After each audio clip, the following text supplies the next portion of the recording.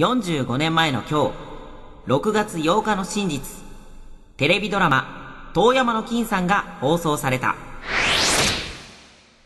ああ、見てました。遠山の金さん。これ以前にもね、ドラマはあったらしいんですけど、60分のドラマとしてはこれが一番最初のらしいですよ。なるほうん。ど。見てましたか？見てました。この桜吹雪が目に入らないのかと。ドーンって。どう？あああ、申し訳ありませんでした。ーいいな、仙台はえー、。あれ新潟は？新潟ね、テレビ朝日系列がね、僕が小学校6年生ぐらいまでね、なかったんだよ。そうなんだからテレ朝の富山の金さんは僕ね、ほとんど見たことない。あらららららら。代わりに TBS の江戸を切るは見てた。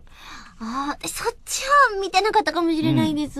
僕の中で金さんはね、あの、西郷輝彦なんですわ。ああ、私、ええ松方さん。そうそうそうそう。いやー、そう。うんあ、でも、あの、これ台本に私書いてあってすごいびっくりしたんですけど、はいはキーさんといえばあの、桜吹雪。のあの、彫り物をしてるじゃないですか。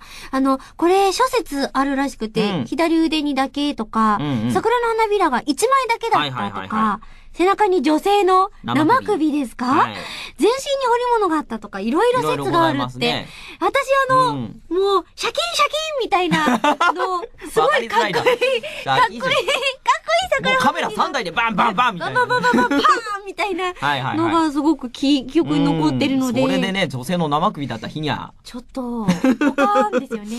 ええしかもドラマのような名裁きをしたという記録がほとんどないっていうのが、一応でもなんかね、うんあの、裁きについては褒められてるっていう記録が残っているので。なるほど。うんええいやー、好きだったの懐かしいなーっていうのを思い出しました。いろいろ時代劇あったな、あの頃は。暴れん坊将軍とかも やっぱりテレビ朝日っ子だ、この人。そうみたいです。